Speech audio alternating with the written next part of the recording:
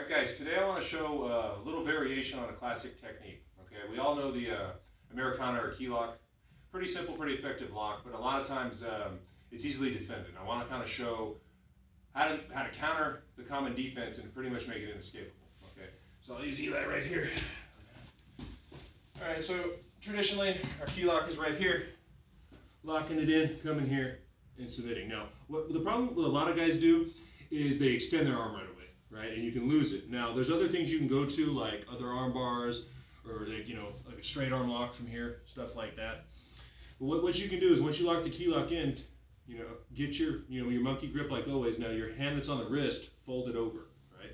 So I'm not so much grabbing anymore, I'm bringing it forward like this. Now, if he tries to extend, he's trying, and then you finish, right? This can work from obviously side mount or, or, or mount, anywhere you can get a key lock. But the, that's the most common defense. As soon as you go to lock it in, a guy's extending it. And even me, as a strong guy and a guy that's been doing this move almost 20 years, I can still lose it. So the key is when you pin it like this, here. So again, here, now look. I call this the club hand. Because if you look here, I mean, I can do whatever I want. Obviously, I'm not going to waste time and I'm going to finish him. But like once I'm here, he, you know, to know this works, I always, when I'm drilling this, I always have guys uh, test it. Go ahead. Right? And then at any point. And again, if I wanted to, we'll turn towards the camera here. Say, you know, I'm doing it for mount, right? Same thing here. Right? It's locked in. Right? Everything's locked in where it should be. Extend, get out.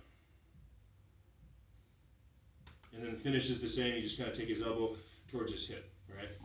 That's a little tip that uh, I use all the time so guys can't get out of it. So basically you're here, you just kind of bring it over because when you lock this in, it, it prevents this from extending because when you're here, guys are going to panic, they're going to want to get out.